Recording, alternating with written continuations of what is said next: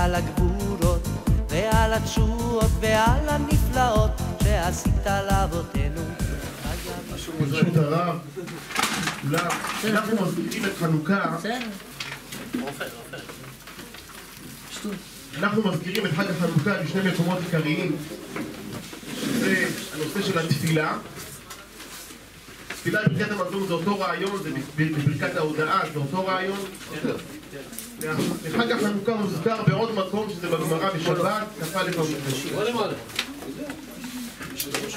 אנחנו אומרים בעל הניסים, בסוף הנוסח של על הניסים, אנחנו אומרים, ועשית עמהם ניסים ונפלאות, ונודה לשמך הגדול סלע. מה הם הניסים והנפלאות? למה לא נס ופלא? הרי יש נוסח שאומר נס ופלא. אז אנחנו אומרים שאנחנו מודים לקדוש ברוך הוא על שני ניסים שנעשו בחג החנוכה. הנס הראשון זה הנס של פח השמן. נמצא פח, שזה כולם יודעים, נמצא פח שהיה מספיק ליום אחד, תודלק ממנו שמונה ימים. והנס השני בחג החנוכה, אנחנו מודים לקדוש ברוך הוא על הניצחון, שהקדוש ברוך הוא נתן ניצחון בידי המכבים, בידי החשמונאים, וניצחו את אותם יוונים ארורים. אז יש לנו שני סיבות להודות עליהם בחג החנוכה, נס פח השמן ונס הניצחון. אבל המעניין הוא שבגמרא בשבת, ששם הגמרא שואלת מהי חנוכה, נתנו רבנן, בכ"ה בכסלו, יומי חנוכה תמניינו, דלא להתענה בהון, דלא, דלא למספד בהון, למה? שנכנסו יוונים להיכל, מצאו פח של שמן, כל הסיפור. אבל הגמרא לא מספרת בכלל על נס הניצחון. איפה נס הניצחון הלך בגמרא? איפה הלך הנס ניצחון?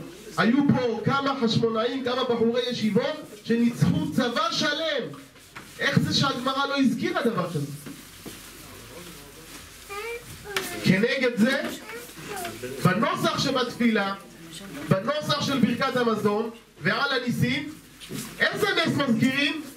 מסרת גיבורים ביד חלשים ורבים ביד מעטים, מורשעים ביד צדיקים, רק את הנס של המלחמה. איפה הנס של השמן?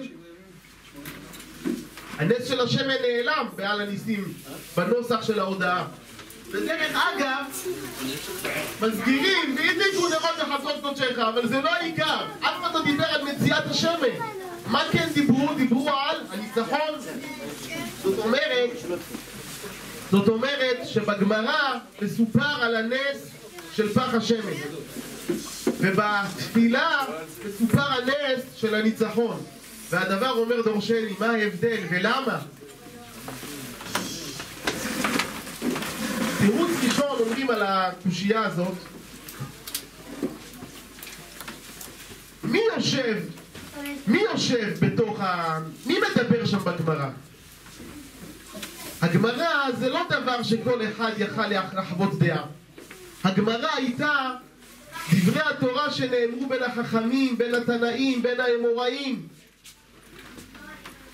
לכן הגמרא דיברה על נס פח השמן, ולמה? רבותיי, זה שעם ישראל ניצח במלחמה זה לא הוכחה שהקדוש ברוך הוא מגן ושומר בהשגחה שלמה על עם ישראל. למה? כי הפסוק אומר, והאלוהים יבקש את הנרדף. תמיד הנרדף, יש לו יותר סייעתא דשמיא. הראיה, איך אמרו חכמים, אפילו הגנב אומר שיר למעלות לפני הגניבה. תמיד הנ- הנרדף, יש לו סייעתא דשמיא יותר. זה שעם ישראל ניצחו במלחמה, זה לא הוכחה על השגחה עליונה, השגחה מיוחדת לעם ישראל. למה? כי הם היו נרדפים. גם אם היה סודני נרדף, גם לא היה קורא נס, גם הוא היה מנצח.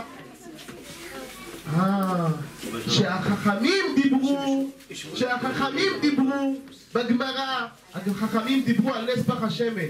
כי נס פח השמן הוכיח את ההשגחה העליונה של הקדוש ברוך הוא והקרבה של החביבות של הקדוש ברוך הוא עם עם ישראל. אבל שאר העם לא מבין את אותה קרבה ואותה חביבות. מה נספר להם? שמע, היה מלחמה, היה אקשן, ניצחנו. זה מה שמבינים שאר העם, זה התפילה, כולם מתפללים. אבל בתוך בית המדרש, מה יודעים? בתוך בית המדרש יודעים שהניצחון, שהנס היה פה, הקרבה המיוחדת של הקדוש ברוך הוא, שהקדוש ברוך הוא ירד לעם ישראל, בדרך כלל כל חג הקדוש ברוך הוא מרים את עם ישראל אליו. פה הקדוש ברוך הוא יורד לעם ישראל. זה יכלו להגיד רק בתוך בית המדרש. לכן בבית המדרש דיברנו רק על נס פח השמן. תירוץ שני שאומרים, רבותיי, עם ישראל לא מתלהב מניצחונות, לא מתפאר מכוח. עם ישראל יודע שאם הוא חי וקיים, זה לא בזכות שיש לו חיל האוויר, ולא בזכות שיש לו חיל הים, ולא בזכות שיש לו חיל אחר, אני לא יודע מה יש. עם ישראל יודע, ועם ישראל זה צריך להיות ברור אצלו שכל הקיום של עם ישראל זה רק התורה. זה רק התורה ותו לא. ההוכחה שלחשמונאים לא היה פילים, שזה הטנקים של דאז, לא היה כל מיני כלי נשק, והם ניצחו. הם ניצחו כי הם באו בתור בחורי ישיבה. הם באו בתור בני תורה שיושבים ועוסקים בתורה. בגלל זה הם ניצחו.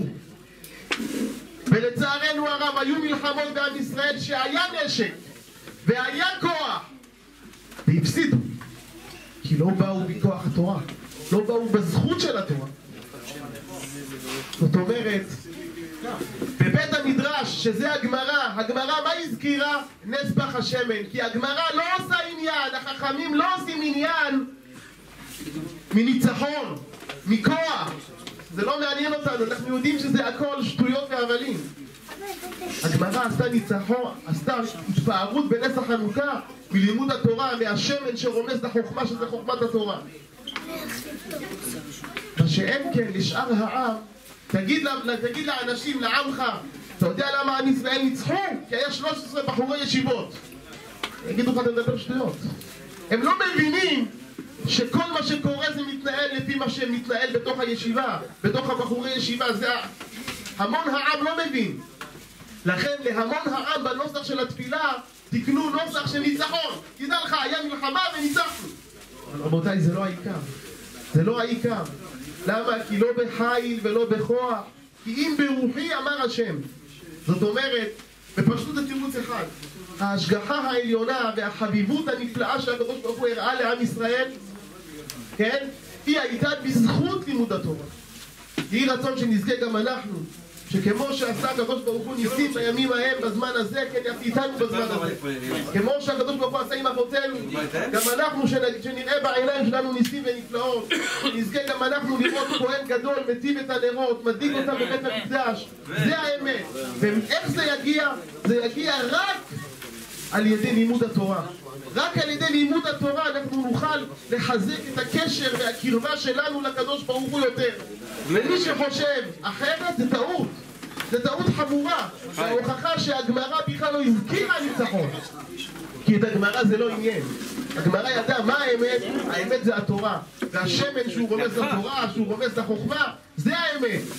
לכן, שנזכה גם אנחנו, שבעזרת השם נזכה לבניין בקדושים ותפארתנו, ששם נזכה לראות כהן מטיב את הנרות, מדליק את הנרות, ואז יכירו וידעו כולם את אותה חביבות של הקדוש ברוך הוא שהתגלתה בימים הללו של חודש כסלו, עכשיו כבר ראש חודש טבת, אבל בימים האלו של חודש טבת, אותה חביבות, יהי רצון שתמשיך ותלווה את עם ישראל בשלמות, והשלמות תהיה רק בבניין בקודשנו ותפארתנו, ואז נזכה כולנו לראות את הקרבה לא רק מחג לחג, לא להרגיש קרבה רק מדי פעם שיש איזה, איזה, איזה דרשה מיוחדת, אלא כולנו נחיה קרבת אלוקים איתו, אמן כן יהיה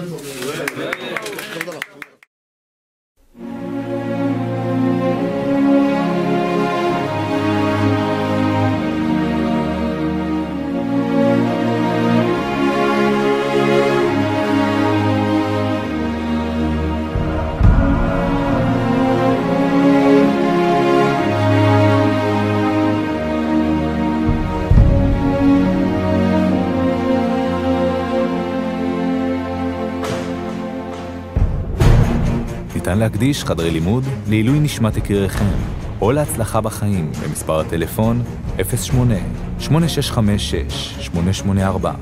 ולזכה לביאת משיח צדקנו, ולגאולה השלמה במהרה בימינו.